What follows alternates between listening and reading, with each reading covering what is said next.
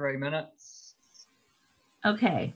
So because I wasn't recording, I'm going to just go start all over again. How about that?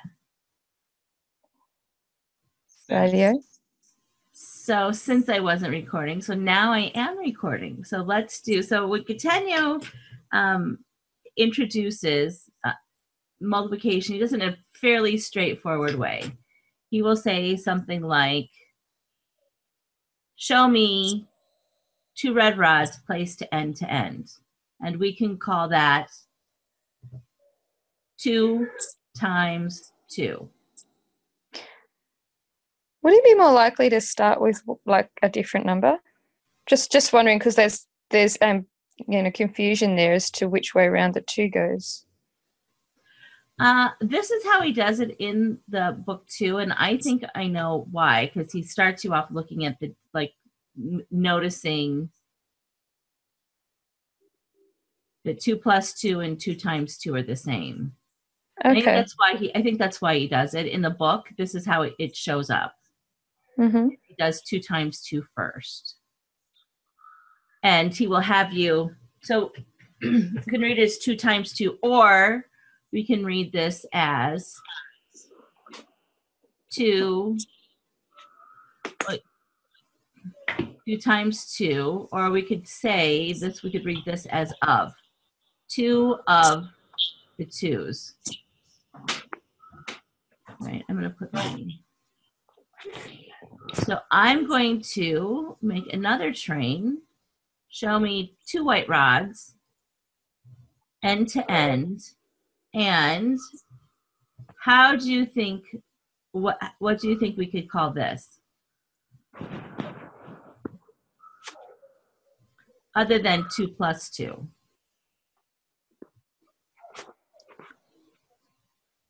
Uh, Other other than two plus two, other than one plus one. It is those are actually units. So other than one plus one, what would we call this? Anyone. Two times one. Okay, two times one or two of the ones.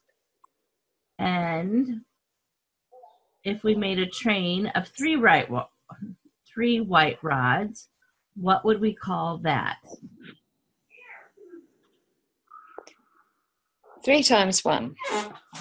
Three times one or three of the ones. And what we want to do is make sure the kids have a thorough understanding of the difference between addition and multiplication. And so we can build this train here.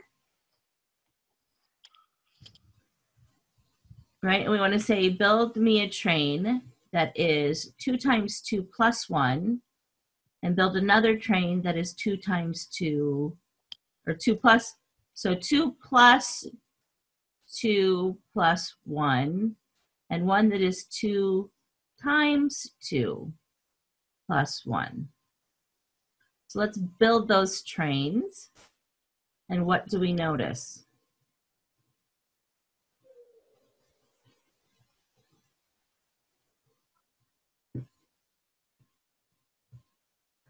They're the same.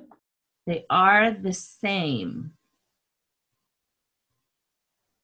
What happens if we build a train that is 3 times 2 plus 1 and one that is 3 plus 2 plus 1? So we can build that one.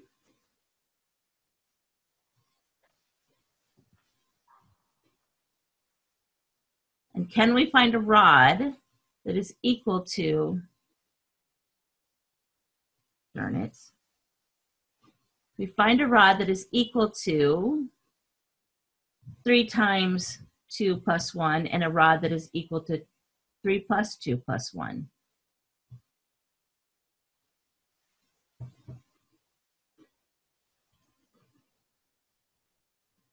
Select the top one.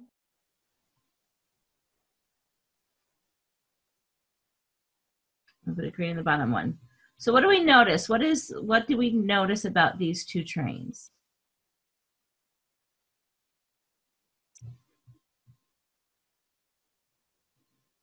Well, the bottom one hasn't got multiples of one rodin. Ah, so the bottom one. Okay, hold on. I'm going to do text. So the bottom.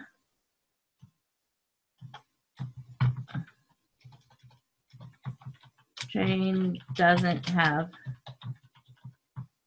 multiples. What else?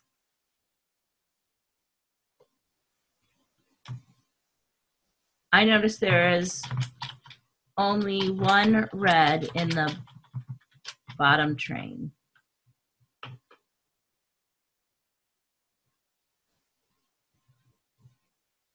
There isn't any green in the top. Ah, there's no.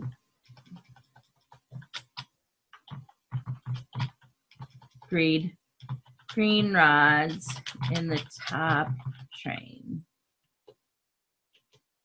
I noticed that the bottom one is smaller.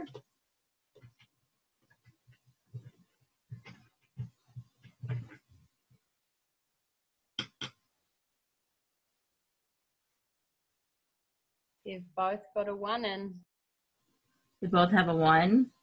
I'm not going to keep typing these. I noticed the top one actually has three of the red rods. So there's three red rods there. And the bottom one only has one red rod. And there's a no green in the top and there's a green in the bottom one. So we kind of have that there. So we want to keep playing this kind of thing. I'm going to select this stuff and get rid of it.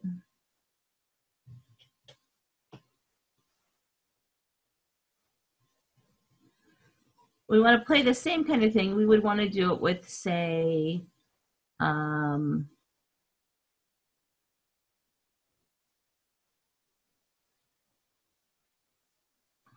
hmm, let's do,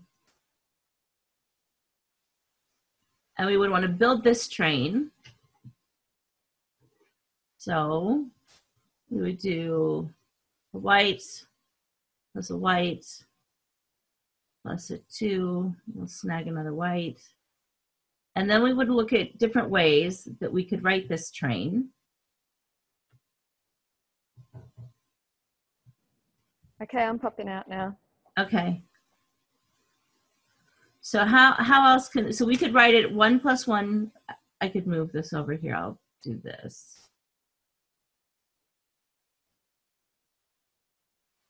So that's one way to write this train. How else could we write that train?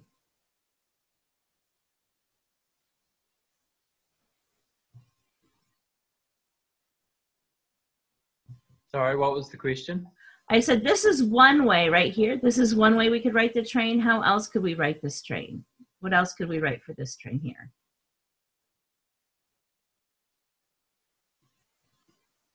two whites, two of white, or two of one, plus one red, plus one white. plus red plus oh we're gonna actually we're gonna use numbers right now just because we do numbers up to 20 so i'm gonna just use a number here plus so two times one plus two plus one now if your rule is they have to write it exactly the way it is but we could also use the commutative property and we could do 3 times 1 plus 2. So you could do that. And what we want to make sure is that the kids have a thorough understanding of the difference in the signs and that they're using the signs correctly. And when you would introduce the symbols, so I already introduced them here, but when you introduce them and you would say, we will say for two reds end to end, we can say red plus red. When we introduce the symbols, we would say, we say red plus or red times red, or two of the reds, or two times two. And we will write that 2 times 2, 2 or 2 of the 2s, however you want to use it. I like using the word of because it tells you how many of something you have and it brings clarity especially when you get to fractions because we often talk i think i maybe mentioned this i don't know which class i mentioned this to but we talk of multiplication often as groups of something and uh, a half of a half of a quarter group doesn't make any sense.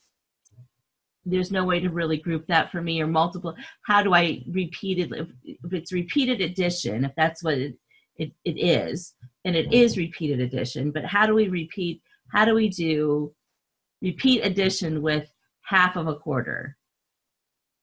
So the the two of something that tells me how much of something that i have and that brings clarity to what we're talking about when we talk about multiplication so if i have half of a quarter that tells me I have the quarter kind and I need half of that. Does that make sense to everyone?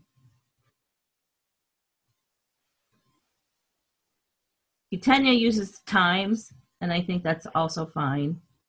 You just have to decide what you want.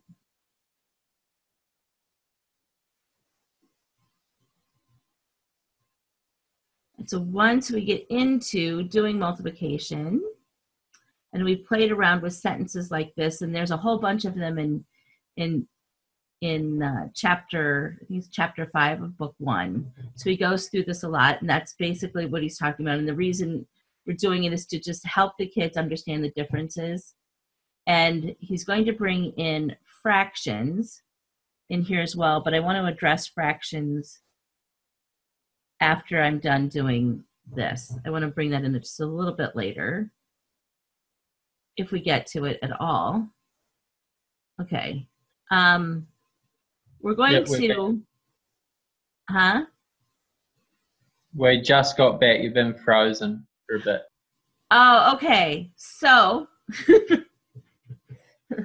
so did you hear the part about how we introduced the written language? Yeah, yeah, we he- heard that. It was just after that.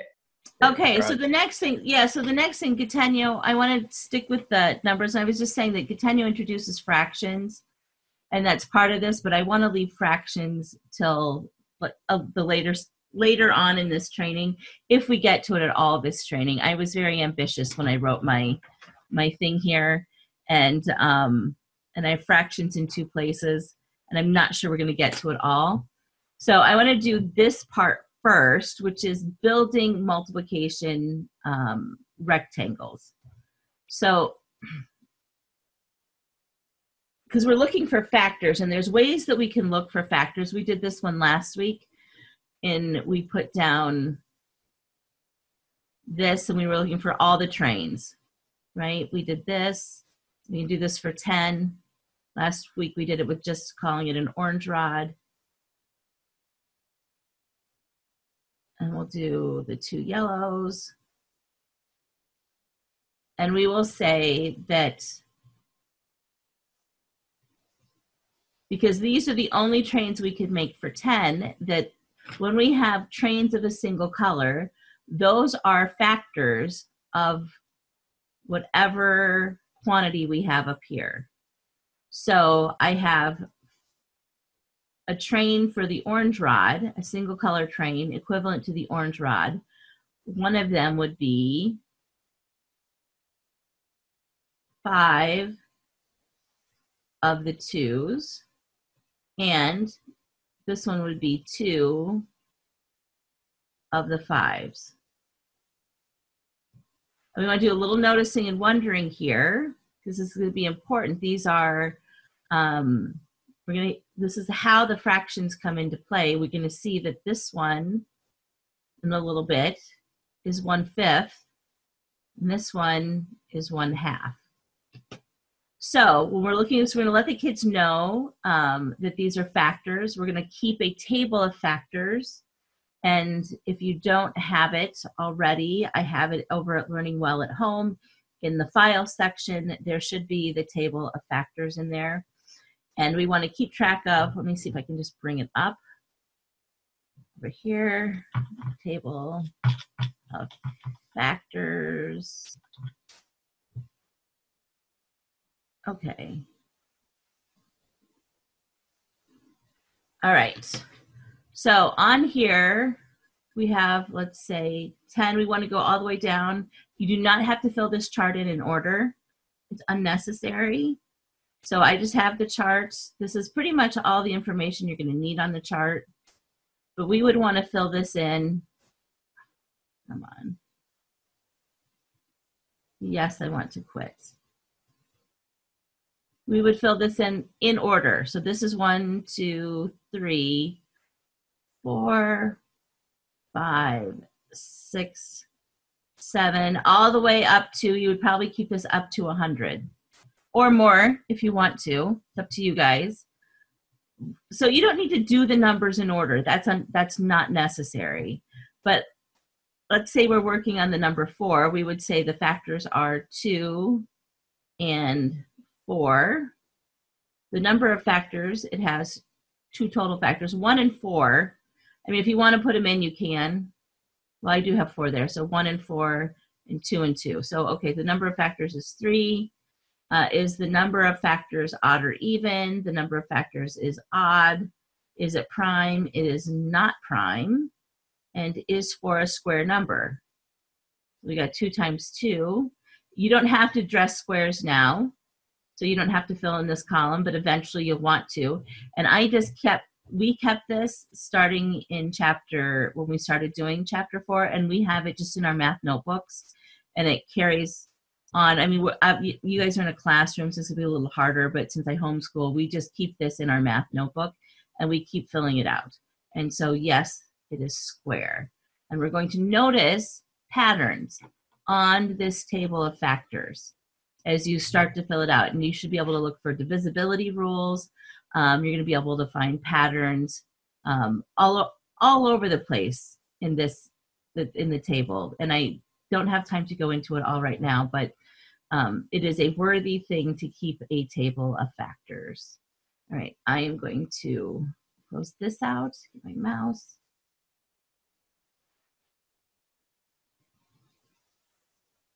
All right, so if we're keeping, oh, let's erase all this stuff I just did.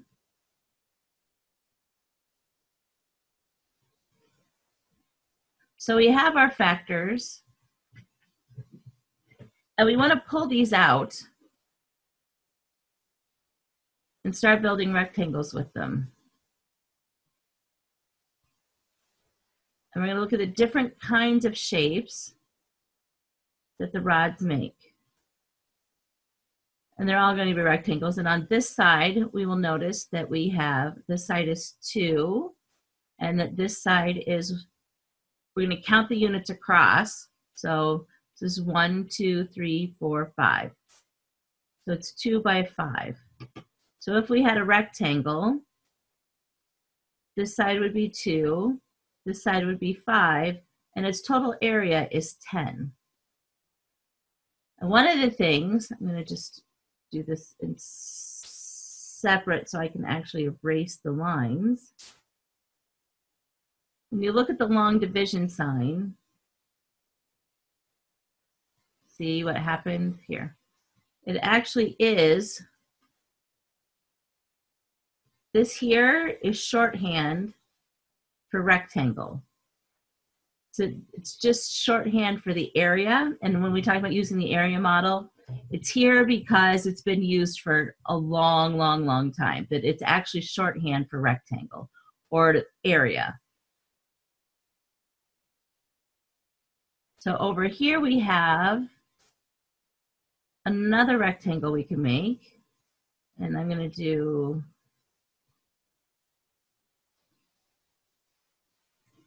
So this time it's five.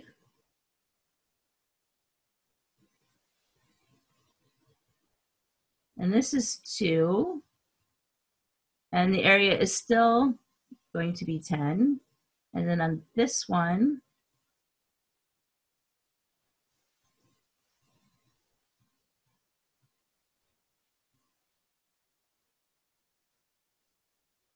10 this way and it's one this way. And we could make another one with all whites. I don't have enough whites, but its area or the, the down number would be one and all the way across it would be 10,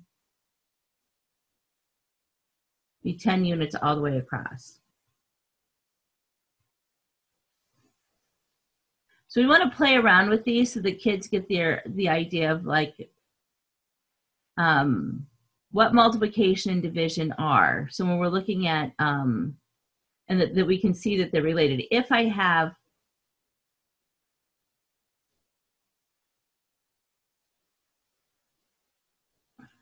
I could draw, this would help with a mouse, but I can't. Getting better, but I'm still like, okay.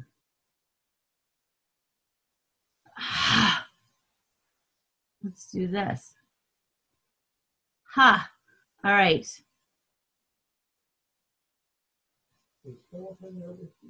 Nope, he's not. All right. If I Yep, have are this- here. yeah, I'm talking to somebody else in my hallway. So if I have this number here, which is the area, and this number, well, this should probably be five to make it look. Then I can find this number over here.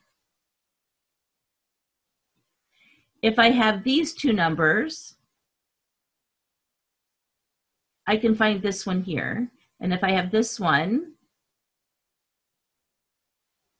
and this one, I can find this one up here.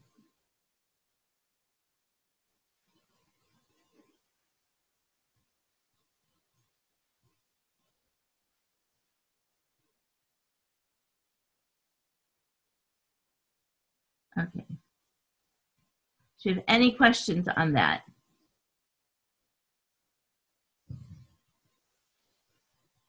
I remember asking one of my teachers in school, why do we do division in that, you know, the the box for division? And they had no idea. Because it means area. How cool is that? Yeah, it's excellent. I was having a conversation once with somebody who said that we shouldn't use the area model uh, for multiplication and division. And I said, well, what do you think? What do you think the whole, what does that mean? What do we use? Why do we use that? It's short for area model. It's short for the area. How we got it.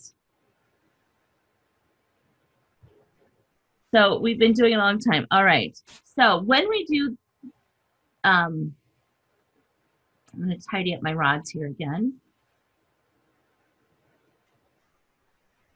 All right, you're going to see um,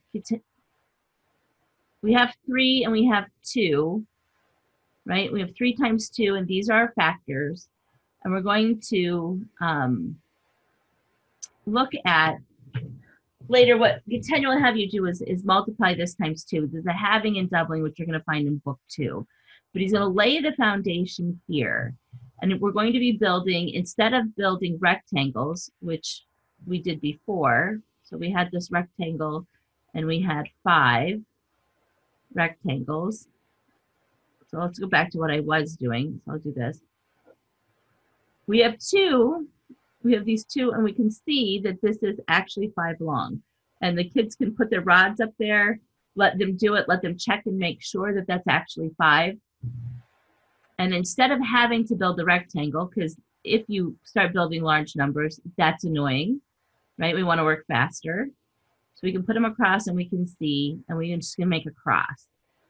And we're going to just now look at the things that we can figure out from this cross. So we said that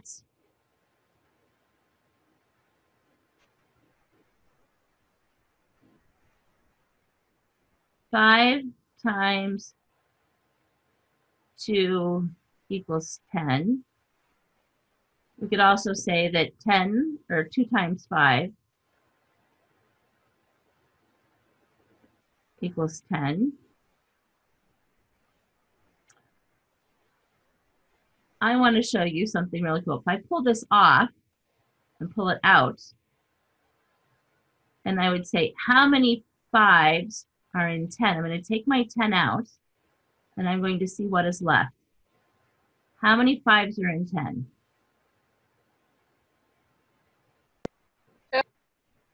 Yep. So there are two fives in 10.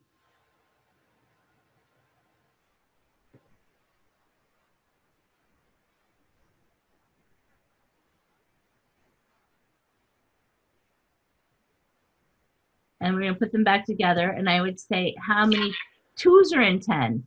And I can pull this out of my 10 and I can see what's left. And how many twos are in 10? Five. Hello, I'm back. All right. 10 divided by 2 equals 5. So I'm going to pull them out at the same time. Now, what is half, right? That's the, the denominator on half is 2. What is half of 2? I'm going to just pull out my 2, and I will find out what that is. What's left?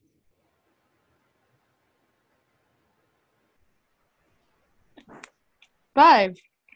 half of 10. So not half of 2. So I don't know if that's what I said, but half of 10 equals 5.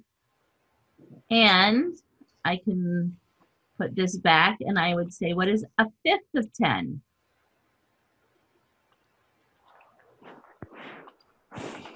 So is it is it obvious that um, the denominator of a fraction is the same as division? Well, that's what you want to get them to.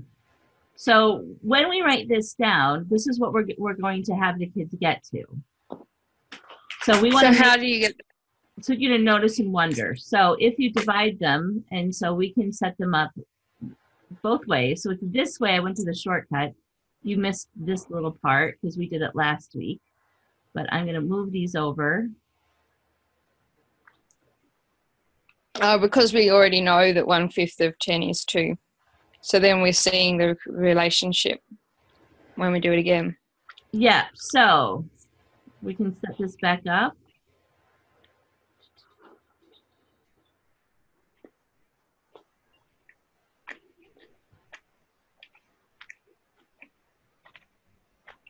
So and we'll even we'll put our whites in here. I don't have enough whites, but you'll just have to imagine the last. We know they're rights. Okay. All right. So we would say, how many twos are in 10? So, Mhm. so, so there's five. We can count them. There's five. How many fives are in 10? There's two. Um, what is half of 10? Go half of Five. Right, five. So we would write all these statements down that we can make, and then we're going to do a little bit of notice and wondering. Somebody's going to go, hey. So if you had a, a class, somebody's going to go, hey, this is all the same. Um, Mhm. But if you only have one child, so it, particularly my child, we didn't notice that right away. That wasn't something that he just came up with and said, hey.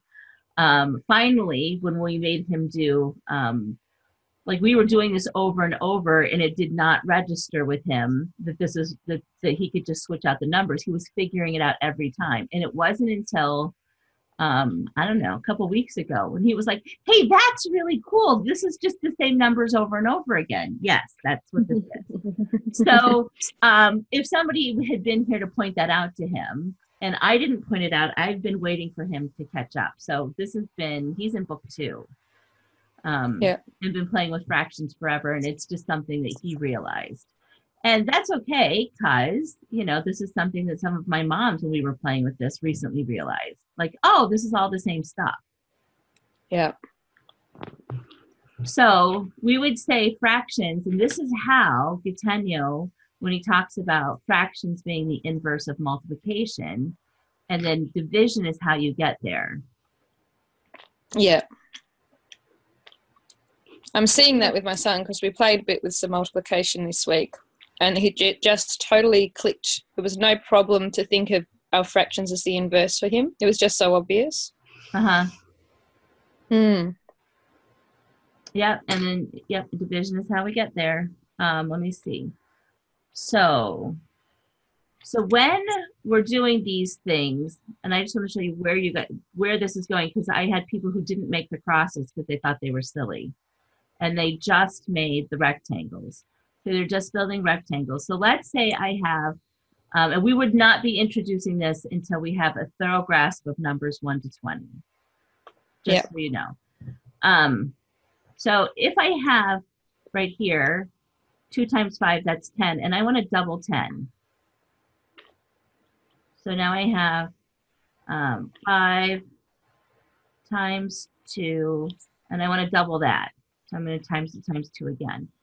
I'm going to, and so now I should have a total of, so now, now I, now I should have two orange rods, so I have 20. And I want to, then to show that, I would just put another orange, or orange, another red rod on top of my red rod that's already here. So let's Mm. say, now I want half of, I want half of this structure that's right here. Five times two times two. I want half of that. Well, half of that will be half of five times two times two is five times two. Yeah. I want a fourth of this. So I'm going to pull out two of them because two times two is four. So a fourth of five times two times two is what? Five. Five. Now we can write 20 here. Also, so what would a fifth be? What would a fifth of five times two times two be? Two times two. Yeah, a fifth of five times two times two equals four.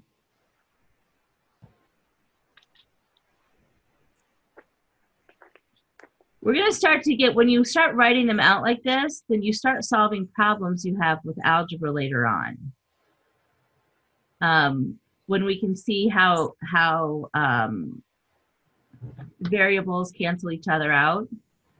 If we start writing these all down now, you can see how that all works later on. so we can, by playing with this, look at creating all the different factors for 20.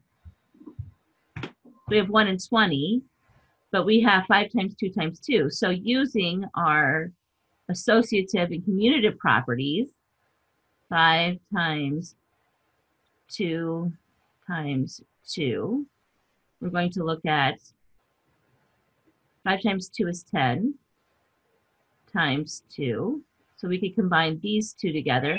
We can combine these two together. And now we have 5 times 4, right? And we could double it again. Or we could triple it and throw on a 3. So I'm not going to go into all of this because we're going to do this later on in the next couple weeks, but this is where this is headed and this is why you shouldn't skip it because this is essential for them to understand um, multiplication. And this is how Gattegno gets them to multiplying numbers. And he calls um, laying these, this, these, calls these things milestones. All right. Um, Which things does he call milestones? so when you start doubling numbers, he sets them up as milestones. So that's what Okay. we call them. So if you keep doubling numbers or you triple numbers, and then he has those as you figure out what the numbers are, and the kids can mentally double and have numbers. And there's something that happens when you double, when you pay attention to doubling one number, and when you double one number, the other one halves when you're making your factors. So that multiplication, and I can show this to you now because this will be, this solves so many issues. That when we do long division, we're using lots of, we're going to use milestones, and he has this set up so that, let's say we have 125, and I want to divide by 25. Let's do 35. Or even 40 because that was 125 is easier. So I'm like second grade. I don't know. I, maybe there's four in there, right? Maybe there's four 25s in there. So I'm going to put um, 100 down. Oh, nope, there's got to be another one. Oh, well, that's okay because you know what? I don't have to worry about it, right? Because I'm going to go over here and I'm going to write four. And look, there's another one that I can see. So, right here's another one. And this is it. This is 20 with a remainder of 20. And I have five total, and that's up. I'm to put that up here. So we're just instead of, so what we're using is the milestones that we know for sure, and then we just keep subtracting. So we have repeated addition, and the division is just repeated subtraction. And this is how long division's done. And when they do these halving and doublings and triplings, we can kind of get an idea by doubling this number multiple times, we can get fairly close to this. Yeah.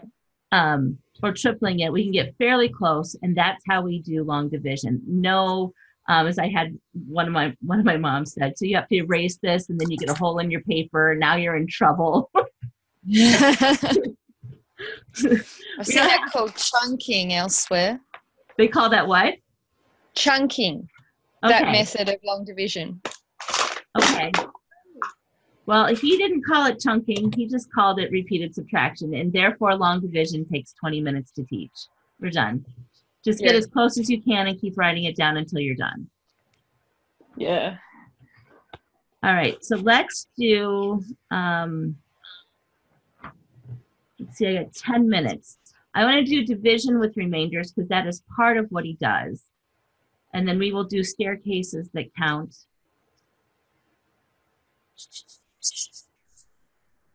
So I want to do staircases, actually. All right, because they should be played with. So we build staircases, and we can build them this way.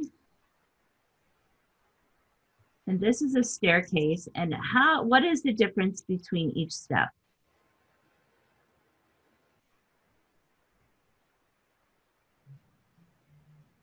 Each step has a common difference of one. So right. So each time we go up a step, we're counting plus one. This is plus another plus one, plus one, plus one, plus one. All right, but now I want to build a staircase, and we're gonna have to do it with like twos because it, it builds too fast. So we have two, and I want to do this staircase, I want it to count times two. So this one over here is a staircase that counts plus one. And we can have a staircase that counts plus two. We can have a staircase that counts plus five. So the difference between each step is five. But this is how we normally count.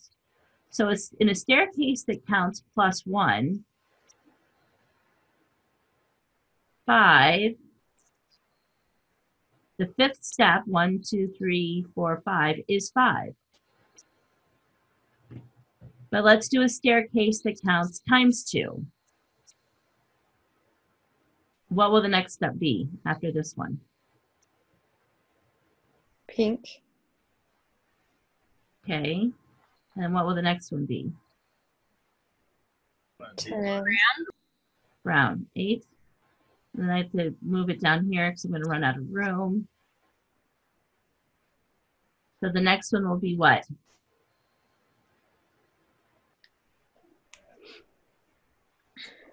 Orange plus dark green. All right. So you can see how it grows. So in a staircase that counts times two, what is the fourth step? 16. 16. Boys and girls, you just did logarithms. It's beautiful. I saw you, you did that with a class, I don't know, last year when before, and I was like, oh wow, look what she did. That's so cool. You didn't say about it at the time, you just did it. Mm-hmm. So that's how, and that's that's exactly what we're talking about. But doing and building staircases that count and multiplying, um, we did this in our driveway with a unit, and then we did times ten. So we have ten, and then we took out a piece of string because you can't build these with the rods; it'll take forever.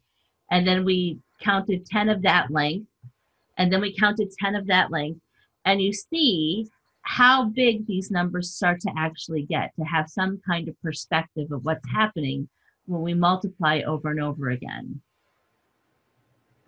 So the other thing that we have here, our first our first stair here. So this is for you guys. You don't need to show this to your kids, right? Yet. But the first one is 2. The second step is 2 times 2 or 2 squared. This, the third step is 2 times 2 times 2, or 2 cubed. And this one is 2 times 2 times 2 times 2, or 2 to the fourth.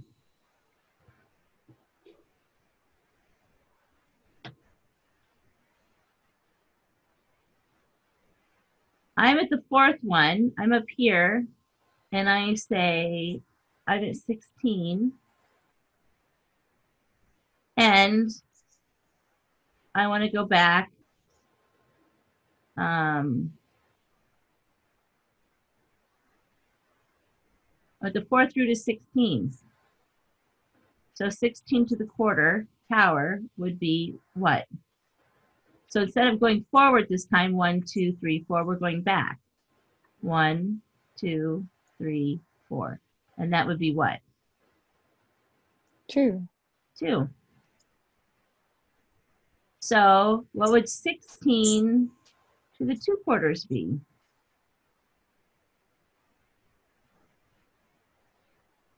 Not quite all the way back. We're going to go two steps back. Four. Four. So 16 to the three quarters would be Eight. eight. And 16 to the first power would be Sixteen. 16. There you go. You just did cube roots. Quarter roots, you just did this. So this would be, the normal notation for this would be, so you have the square, 16 to the, well, I don't know how, we wouldn't do that one in here. We would have to do it up here with some other notation over here, but that's where you've got it. All right. What time is it? 24. I think I have time to do division with remainders. Do you guys have any questions? This stuff will come up later. Um, so I wouldn't go showing this to your kids unless you have like fifth and sixth graders you're teaching. But the building the staircases and playing with staircases that count is absolutely something we did in book one. And it is no big deal for my son. He has no idea he's playing with logarithms in first grade. Had no idea. He just thinks they're fun to play with. So if you have a great big dining room floor and you have lots of rods, you can keep doubling and doubling or tripling or however much. It starts, they get to get really long fairly quickly though. So you need space. And play with them and do staircases that are plus two and what's the fifth step. And that helps you see how we get our counting numbers. I mean, the reason it's eight, it's because it's the eighth step. All right. Anyway, so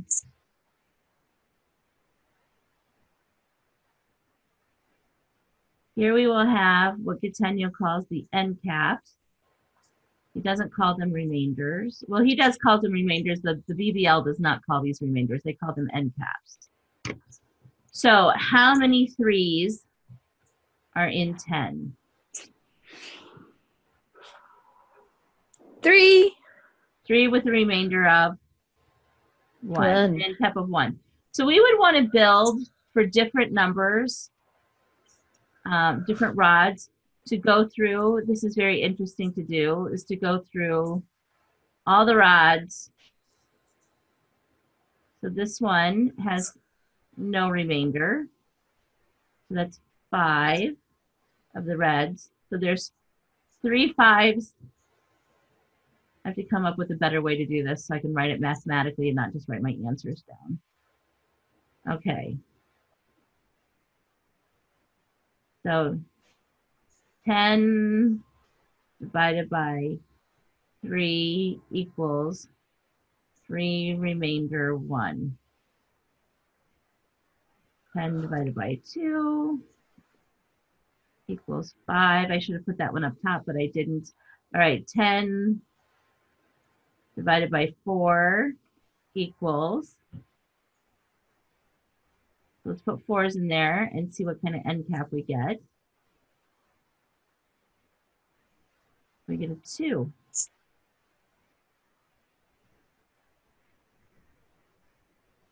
2 with an end cap of 2. And then we will go to 5. So we already did that one. So I'll put it in anyway. Now let's see what's going to happen.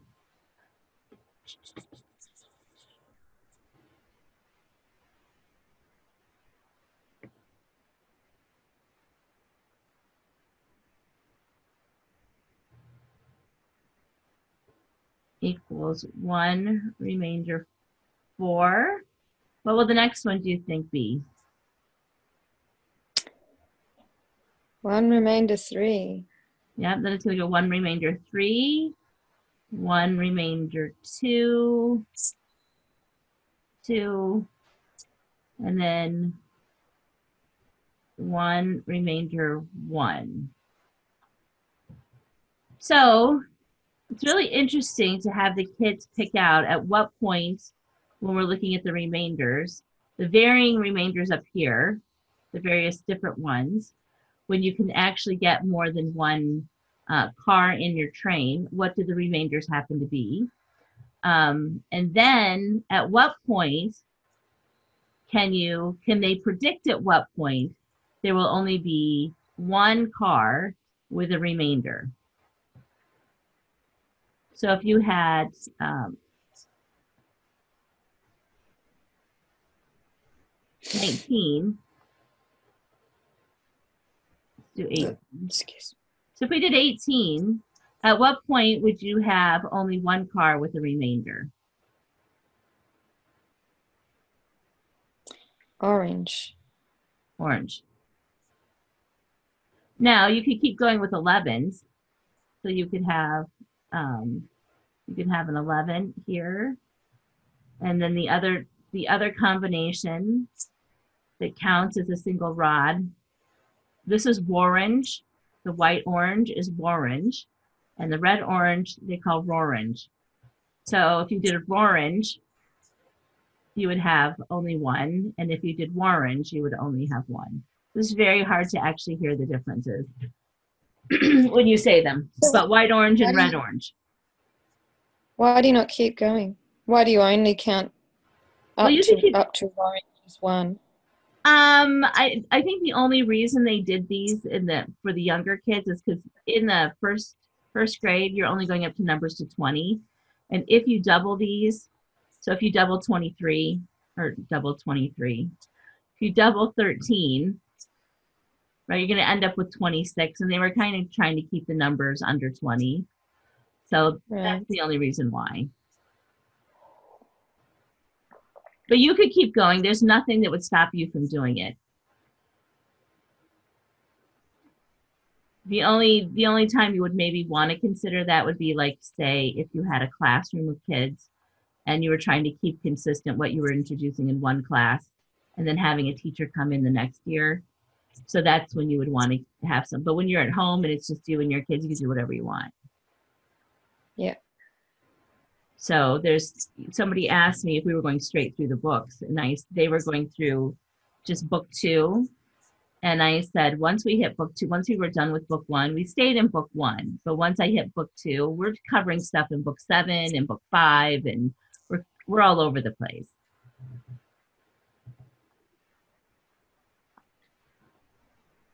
All right, and that is pretty much how we, the division goes with the remainders. Any questions? I think I covered it all. Well done. Are they still here? I can't see the screen. Yeah, they are. Okay.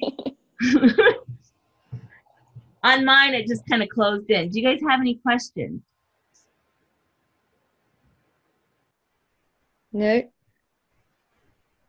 Yeah, I just had a question. Could you spell the word? I think it's cap as an end cap.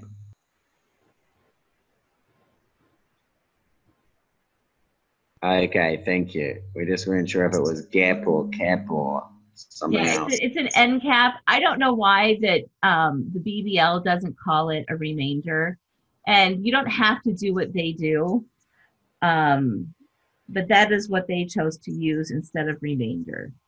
And I know that they are very, very strict. And Arthur Powell, who trained under who who I went to a, a training in in New York at the BBL, and it's the only school using Gattegno still they are very very serious about not using that this is not two times two this is two of the twos this is read of and they are very strict about that and they also where where you see that Gattegno uses times and Gattegno uses the word remainder and they do not and they're very pretty serious about that too those are called end caps so why they're very serious, I don't know.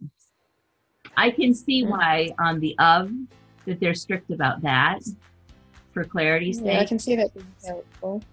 Um, but and they also don't use this is never read as minus. This is always read as difference.